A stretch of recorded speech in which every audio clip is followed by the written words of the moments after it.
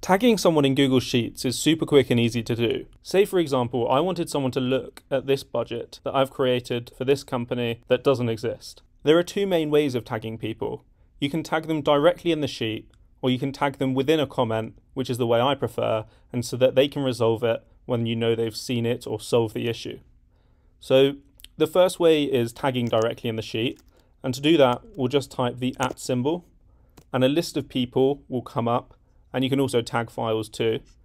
If you begin typing their name or the start of their email address, it will then auto-complete and they will appear in the sheet. You'll then get a pop-up if they aren't already able to access the sheet so that you can share it with them. The other way we can do it is by inserting a comment. And we do that by going to insert and then comment. We can then type at and a list of emails will come up again. We can then select from the list and they will be tagged.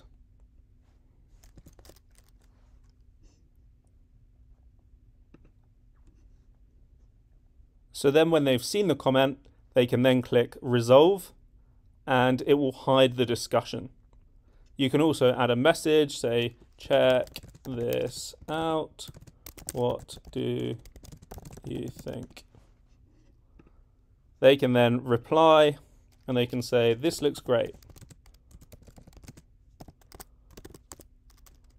But what is going on with the equipment budget?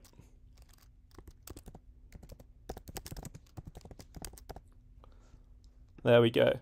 Or if they have no issues, they just click resolve. So those are the two main ways of tagging people in Google Sheets. If you have any questions or comments, leave them down below and I will try and get to them.